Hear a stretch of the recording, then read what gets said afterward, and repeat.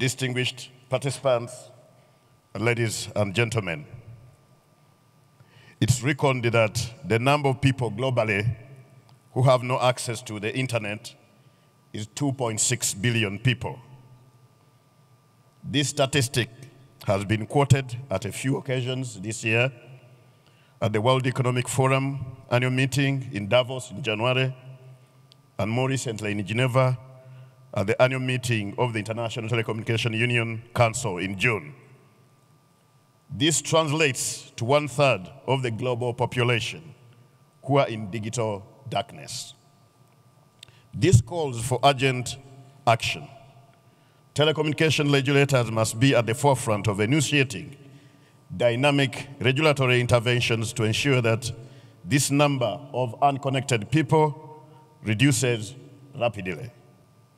Access to the internet is no longer a luxury. It has become an absolute necessity, denial of which means denial to essential services like education, medical care, financial inclusion, to mention but a few.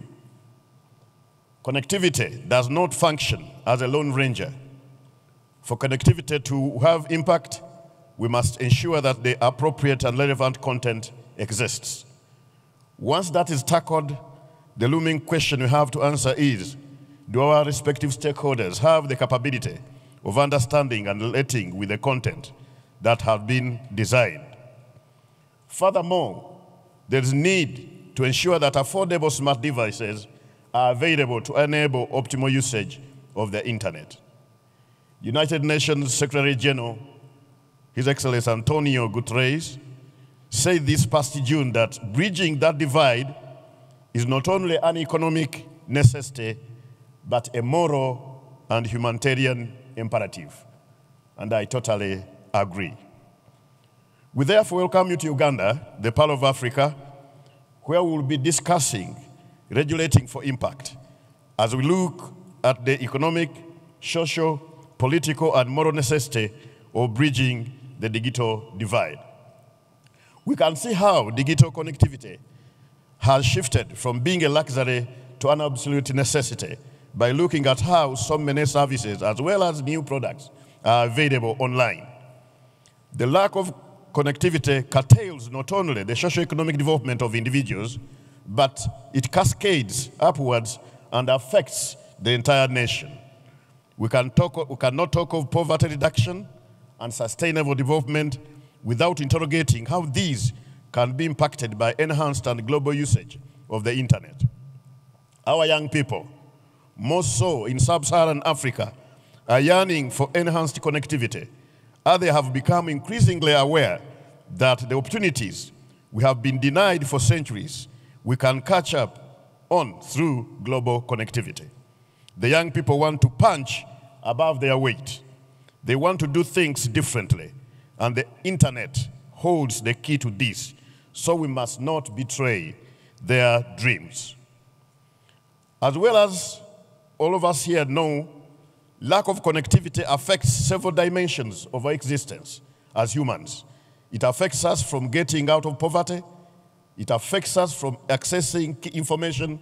It affects us from civic engagement and participation. We are in the race against time because the technological advancements are progressing at a dizzying speed, and it is honestly far easier and more effective for us to engage in digital inclusion initiatives now than playing a catch-up game at a later stage. Time really is of essence. The fact that we are gathered here in Kampala, Uganda, speak to a collective commitment to regulate for impact and bridge this digital divide. Our convening here shows that we espouse the shared belief that access to the internet is now a right and not a luxury, as it once was. The range of topics that will be discussed illustrate the breadth and depth of what we grapple with in the communication regulatory space. From digital regu regulation to executive roundtable discussions on charting the course of transformative technologies, from development issues and private sector to high-level ministerial panel discussions on maximizing digital opportunities for impact, these are just the tip of the iceberg on the areas in which we want to make an impact. GSR 24 presents us with an opportune platform to dialogue, to not only gain and share insights and best practices on current issues, but to also brainstorm on technological advancements as well as challenges we anticipate in the near future. Distinguished ladies and gentlemen, the only way that we can achieve our goal of making an impact in our sector, which is also linked to us achieving the sustainable development goals, is through collaboration. Without collaboration, all our individual efforts, as admirable and ambitious as they are, at making an impact on the different stakeholders we serve will remain a siloed effort. Collaboration is our only viable solution. So what does collaboration look like for us? I believe collaboration entails two-way, frequent and dynamic communication amongst governments, the private sector, civil society, telecommunications regulators, and the average citizen. We need to adopt a collaborative approach to formulating policies that are inclusive and make significant investments in building the infrastructure that will lead to the unconnected population receiving connectivity and also being effectively empowered on using the various digital tools available. Our ultimate goal, distinguished ladies and gentlemen, is for digital inclusion and digital equity, a connected world where each individual can purposefully thrive in a digital era. While we task ahead of us is bridging the digital divide, seems immense, it seems so, only because we are looking at it through individual lenses.